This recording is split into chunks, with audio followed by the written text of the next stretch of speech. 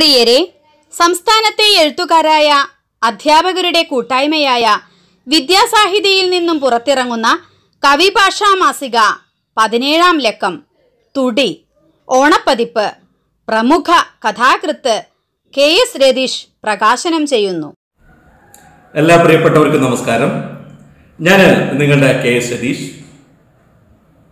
കേരള നാട്ടിലേക്ക് വീണ്ടും ഒരു ഓണം നമ്മളെ അന്വേഷിച്ച് വരിക. മലയാളികളെ മുഴുവൻ എന്ത് ചെയ്യുക സന്തോഷത്തിന്റെയും ആഘോഷത്തിന്റെയും നാളുകൾ മലയാളിയുടെ മുന്നിലൂടെ ഇങ്ങനെ കടന്നു പോവുകയാണ്.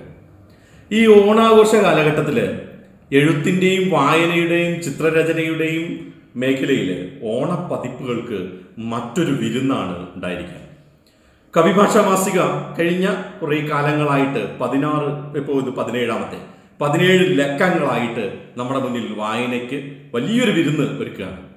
കവിഭാഷാ മാസികയുടെ പതിനേഴാമത് വിരുന്ന്. ഓണപ്പതിപ്പ് അല്ലെങ്കിൽ ഒരു ഓണസദ്യയുമായിട്ടാണ് നിങ്ങളുടെ മുന്നിൽ വരിക.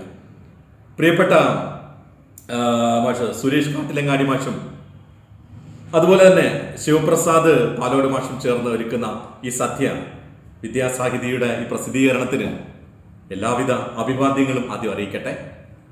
അതിജീവനത്തിന്റെ മറ്റൊരു സാധ്യതയാണ് കലയും സാഹിത്യവും. പറയില്ലേ? നമ്മൾ പറഞ്ഞില്ലേ? എന്തു വന്നാലും എനിക്ക് ആസ്വദിക്കണം. മുന്തിരിച്ചാറ് പോലുള്ള ആ ഒരു ജീവിതം. അത് തന്നെയാണ് എഴുത്തും വായനയും വരകളും നമ്മളോട് ആവശ്യപ്പെട്ടുകൊണ്ടേയിരിക്കുന്നത്. നമ്മൾ എന്തു വന്നാലും ഇനി ഈ ജീവിതത്തെ ഈ ഓണത്തെ അല്ലെങ്കിൽ ഈ മനോഹരമായ സദ്യയെ നുകരാൻ തയ്യാറായിരിക്കുകയാണ്. ഞാൻ ആ പതിപ്പിലൂടെയൊക്കെ ഇങ്ങനെ കടന്നുപോയി. കാട്ടിലങ്ങാടി മാഷിനെയും ശിവപ്രസാദ് മാഷിനെയും എനിക്ക് അറിയാവുന്നത് കൊണ്ട് തന്നെ അവരുടെ കലാവിരുത് അറിയാവുന്നത് കൊണ്ട് തന്നെ ആ പതിപ്പിലൂടെ കടന്നു പോകുമ്പോൾ എന്റെ പ്രതീക്ഷയെ ഏറ്റവും അങ്ങേയറ്റത്ത് എത്തിക്കുന്നതായിരുന്നു. ഓണം ആകുമ്പോൾ എല്ലാ മാസികകളും ഒരു ഓണപ്പതിപ്പായിട്ട് മുന്നിലേക്ക് വരും. കഥകൾ നിറയെ കവിതകൾ. എന്നെ ഞെട്ടിച്ചു കളഞ്ഞു സത്യത്തിൽ ഓരോ കഥകളും കവിതകളും മണമ്പൂർ രാജൻ ബാബു മാഷും കെ എം കുട്ടി സാറും ഒക്കെ ചേർന്നിരിക്കുന്ന ഈ വിരുന്ന്. എന്ന് വെച്ചാൽ ഒരു മിനിക്കഥ പോലും പുരസ്കാരം എന്ന മിനിക്കഥ വായിച്ചപ്പോൾ തന്നെ എനിക്കൊരു വലിയ സന്തോഷം ഉണ്ടായത് പുരസ്കാരം കിട്ടിയ ഒരു അധ്യാപകന് ഒരു കുട്ടി കത്തെഴുതുകയാണ്. അതും തികഞ്ഞ അക്ഷരത്തെറ്റോടുകൂടി. നമ്മുടെ അധ്യാപന ലോകത്തെ തന്നെ എന്ത് ചെയ്യുന്നു? ഒരു ഒറ്റ വരി കഥയിൽ കൃത്യമായി അടയാളപ്പെടുത്തുന്ന കൃത്യമായി ചോദ്യം ചെയ്യുന്ന സുന്ദരമായ കഥയാണ്. അധ്യാപനം ഏറ്റവും കലാപരമാകുന്നിടത്താണ് നമ്മുടെ വിദ്യാർത്ഥികളുടെ ജീവിതം വസന്തമായിട്ട് മാറുന്നത്. ഇനി രാഗില സജിയുടെ ഒരു കവിത അവിടെ ഒരു കുന്നുണ്ടായിരുന്നു എന്ന കവിത ഞാൻ വായിച്ചു. അപ്പോൾ നോക്കുമ്പോൾ കുന്നിലേക്കായിരുന്നു എന്റെ ജനാലകൾ തുറക്കുന്നത് എന്നാണ് ആ കവിത പറഞ്ഞു വയ്ക്കുന്നത് നോക്കൂ സുന്ദരമായി നഷ്ടപ്പെട്ടു പോകുന്ന മണ്ണിനെയും മരങ്ങളെയും ഒക്കെ ചേർത്ത് നിർത്തുന്ന.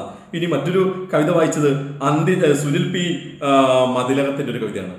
ചിതയിലേക്ക് എടുക്കുന്നതിന് മുമ്പ് പ്രിയപ്പെട്ടവർക്ക് നൽകുന്ന അന്ത്യചുംബനത്തിന്റെ ഒരു കഥ.